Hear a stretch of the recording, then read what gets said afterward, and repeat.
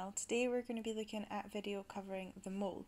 The mole is not technically part of the Advanced Higher course, but having an understanding of the mole really does help you with some of the calculations that you're going to have to carry out throughout the course. It'll also help you if you carry on with chemistry further. Having a real understanding of what the mole is and what it means is really good for any courses that you carry on with later.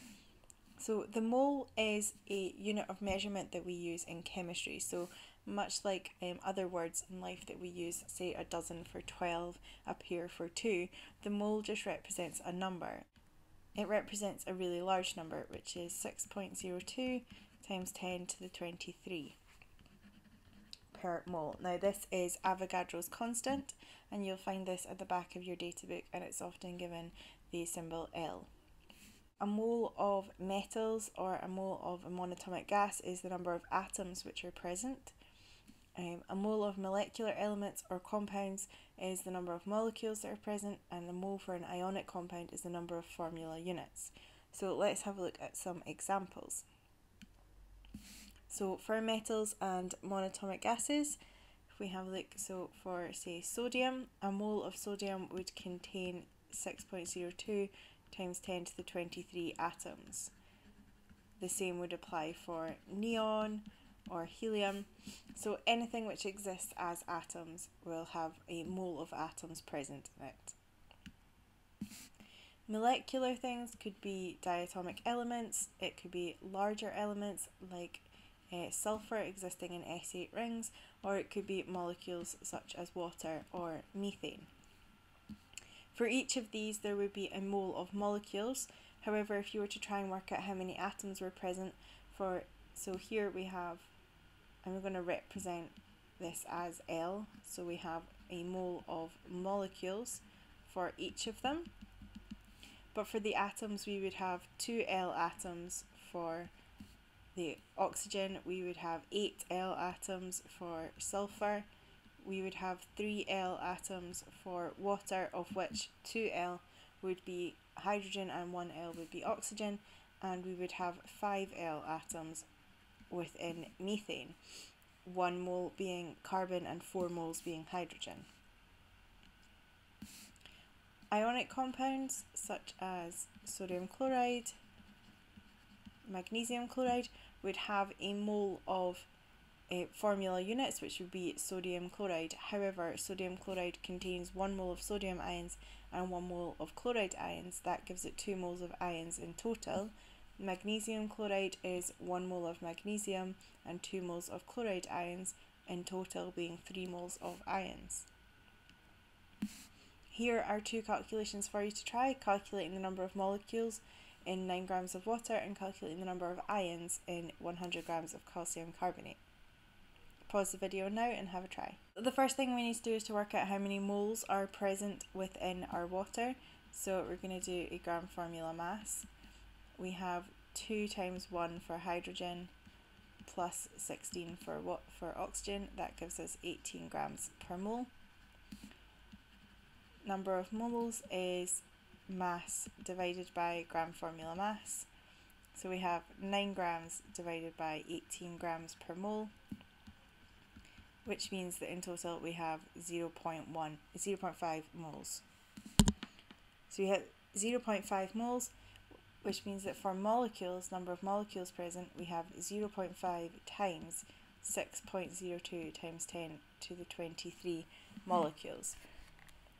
That equals 3.01 times 10 to the 23 molecules. If we were to look deeper and look at atoms, we would have 3 times that for atoms, which would be 9.03 times 10 to the 23 atoms present.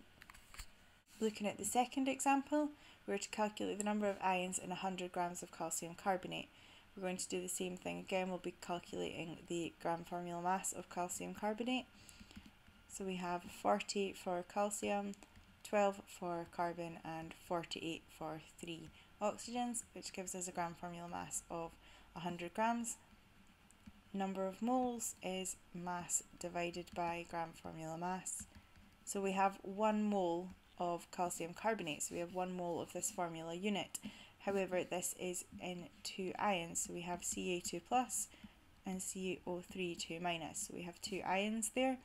So we have 2 times 6.02 times 10 to the 23 ions present, which is 1.204 times 10 to the 24 ions within a mole of calcium carbonate. You'll find that the mole comes up in other places, so you can be asked to calculate the energy of a photon using Planck's constant times the frequency of that photon. One photon would be released or uh, absorbed by one atom. One atom is not usually useful to us in chemistry, so we will scale this up usually to be for a mole of photons or for a mole of atoms. So you'll see this equation in your data book or you may use it in the form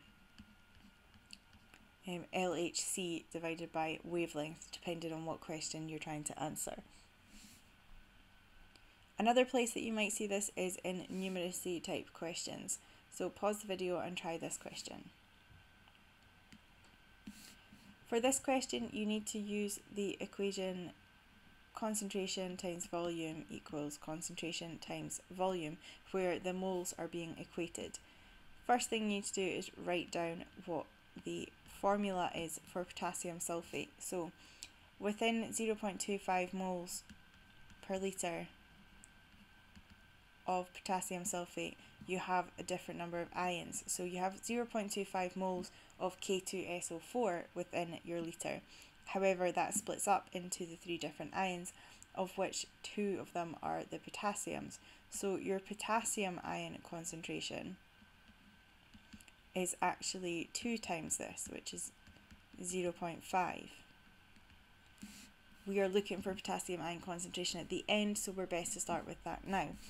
So we have 0.5 times volume, and we're trying to make a potassium ion concentration of 0.125 times the volume. If you rearrange this, so you divide both sides by 0.5,